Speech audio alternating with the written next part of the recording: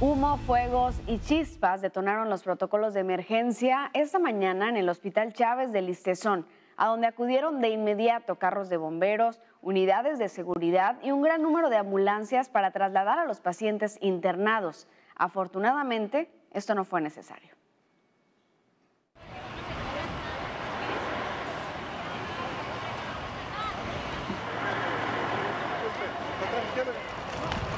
Salvaguardar la vida de los pacientes, médicos, enfermeras, familiares y personal en general fue la primera reacción que tuvieron quienes laboran en el Hospital Ignacio Chávez.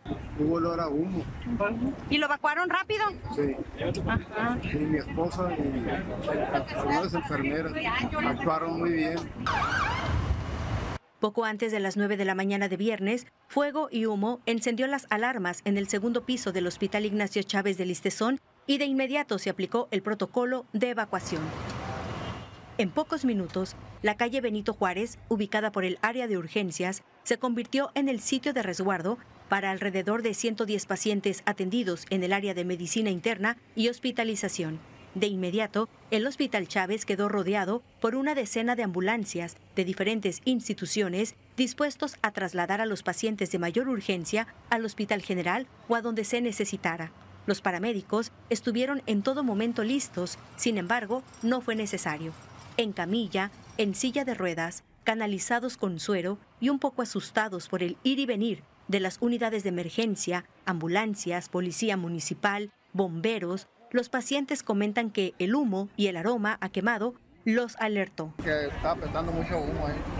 Sí, rápido, porque iba, ya me iban a hacer el procedimiento que me hagan a mí una parasintesis, pero me sacaron cuidado. Los pacientes agradecen y reconocen la pronta intervención del personal del hospital, quienes, sin dimensionar lo que estaba pasando, lo primero que hicieron fue ponerlos a salvo. Luego, luego dijeron evacuar. Rápido, luego, luego. Ya tengo como cinco días hospitalizado. Unidades de bomberos, Protección Civil Municipal, Cruz Roja y la Dirección Técnica de Atención de Emergencias de Protección Civil Estatal atendieron la evacuación y determinaron en conjunto con bomberos que se trató de un conato de incendio provocado por una falla eléctrica y fuga de oxígeno de una de las líneas, la cual controlaron de inmediato. Y el área donde hubo el problema eh, va a permanecer este, cerrado y se va a hacer un análisis un poquito más amplio al respecto de la instalación eléctrica en ese mismo nivel. Realmente las marcas señaladas en las paredes son pocas.